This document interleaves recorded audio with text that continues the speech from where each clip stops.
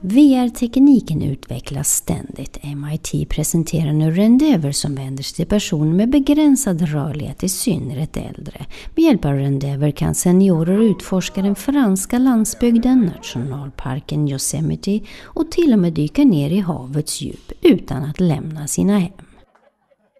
Oh, look at that fish. Whoa. Oh my god. Whoa. in the water.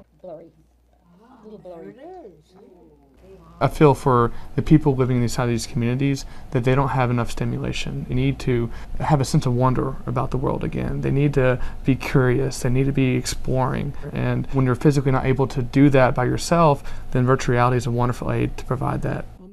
Många av filmerna är från Google Maps men även filmer i 360 grader visas. En kvinna tog sig tillbaka till platsen hon bodde på som liten. En väldigt känslosam upplevelse. Who this? You recognize the house? No, well, wait a minute. Oh, don't say that.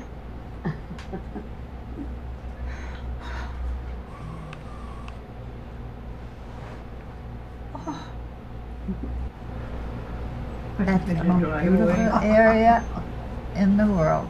Without her, us bringing her there, she wouldn't have had those memories. She wouldn't have remembered the neighborhood that she walked in and the fact that her husband worked on the back of her house. Virtual reality allows us to really spark that new memory.